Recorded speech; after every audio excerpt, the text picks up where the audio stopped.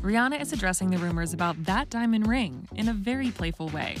The Fenty Beauty founder was spotted rocking a sparkler on her left hand ring finger while grabbing dinner in Los Angeles on Tuesday. In footage shared by the Daily Mail, a photographer asked her if the jewelry choice meant she and boyfriend A$AP Rocky had taken a big step in their relationship, saying, That's a beautiful ring on your finger. Are you engaged? Rihanna laughed after hearing the question and coyly replied, This old ring? After he teasingly prompted her to, quote, give us some tea, she added, Act like you ain't never seen this ring. The Kiss It Better singer's cheeky remark came one day after she was also seen wearing the sparkler while out shopping for baby clothes. Rhi has made headlines for her bold fashion and accessory choices throughout her pregnancy. At the launch of Fenty Beauty at Ulta earlier this month, she stunned in a dazzling silver outfit complete with a belly chain, bracelets, and rings. She also recently turned heads in this aqua jumpsuit, featuring an asymmetric cutout at the midriff.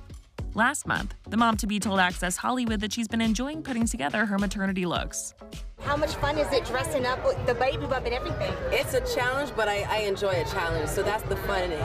Figuring out the, if, if, first what fits, mm-hmm. and then go from there. How could we make it cool? Yes. yeah. And you know, I love the announcement photo that you posted, and I felt like the world was Thank rejoicing. You. We're all gaining a sibling. So, uh, what was the ah. inspo behind that look? Uh, I just wanted to wear something that was like I wasn't pregnant, you know, mm-hmm. just like what I would wear and, and, enjoy wearing. And it was fun to be able to wear it in this way and kind of a flasheroo, you know. yes. It was good. It was cold as hell that day, but but you were rocking it. We got it done. yes. What excites you the most about this next chapter that you're about to enter, motherhood? It's all exciting, you know, because everything is new.